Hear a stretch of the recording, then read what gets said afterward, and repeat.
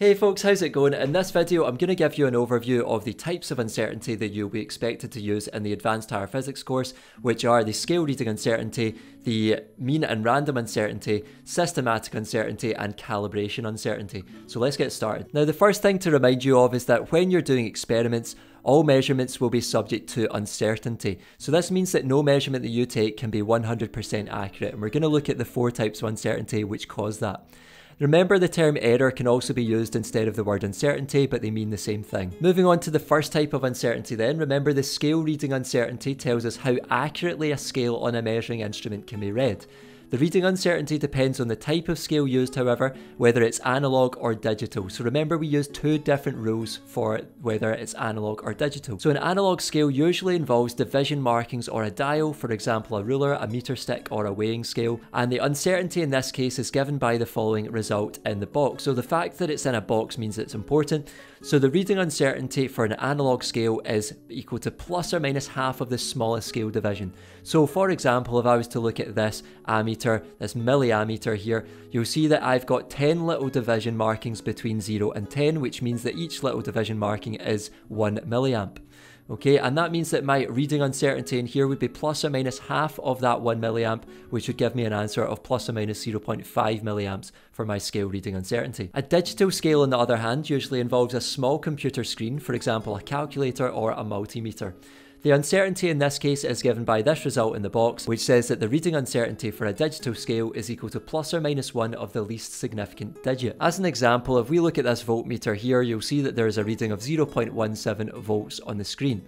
Now the least significant digit would be this one over here. The actual number 7 doesn't matter, it's just the least value that that could have, which is a 1. And so the least significant digit in this case would be the 0.01. So my reading uncertainty for the digital scale would be plus or minus 0.01 volts. Moving on to the next type of uncertainty, we have mean and random uncertainty. So by this stage in your physics career, you'll be used to repeating measurements many times in order to obtain a mean or an average. Now, remember that we say that the mean of a set of repeated measurements is the best estimate of the true value of the quantity being measured. So you're never going to quite get the measurement that you're looking for 100% accurate, but the best estimate you could get of that is if you take the mean of it. Now, it's normal for measurements taken to form a spread around the mean value as shown in this picture here. So if you were to take, say, 100 measurements of something, then they would form a bell curve that looks a bit like this okay? And your mean value would appear in the middle. So that would be your best estimate of the true value if you take the mean down the middle. Now remember to find the mean of something, all we do is we add up all the measurements and we divide by how many measurements there are. And we'll now have a look at random uncertainty. Remember that when measurements are repeated, slight variations or random fluctuations in the readings will occur. So if you were to take many measurements of something, chances are you're never going to get quite the same result every time. And this leads to random uncertainties.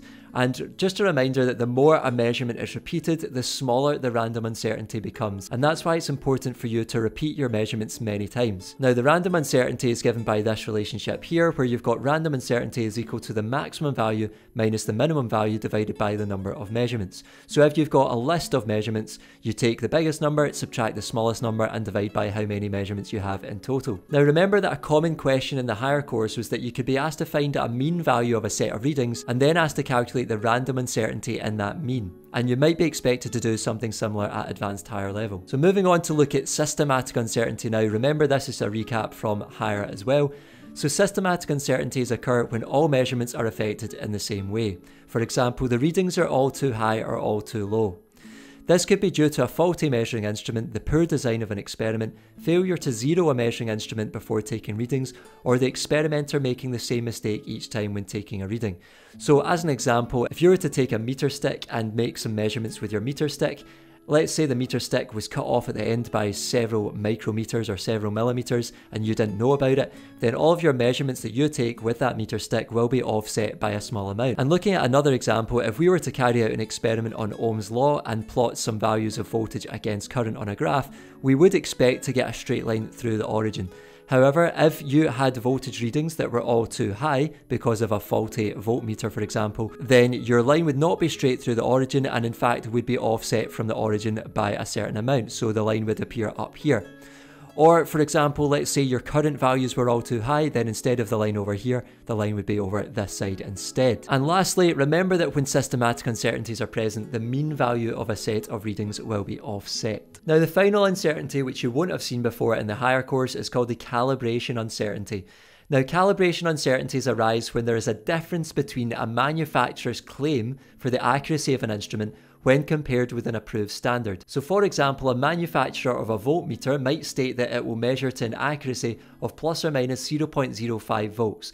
And this is sort of a way for the manufacturer to cover their own back because they know that their instrument is never going to be 100% accurate. And when instruments have not been calibrated correctly, this can lead to systematic uncertainties. So calibration uncertainties and systematic uncertainties are actually related. Examples of calibration uncertainties might include a meter ruler that is not exactly 1 meter in length, a balance scale that under or overreads mass, an analog ammeter that has not had the zero correctly set, which will consistently read incorrectly, or a timer that runs slowly. And the next thing to mention is that although it's true that you will occasionally see calibration uncertainties in your results, it's much more likely that other factors will have a greater effect on your results. So things like the scale reading uncertainty, the systematic uncertainty, or the random uncertainty, these will usually have a much bigger effect on your final results. And just to leave you with a top tip, if you're doing your project and you're evaluating your experimental procedures or your methods, try not to fall into the trap of simply stating that the experiment could have been improved by using better equipment.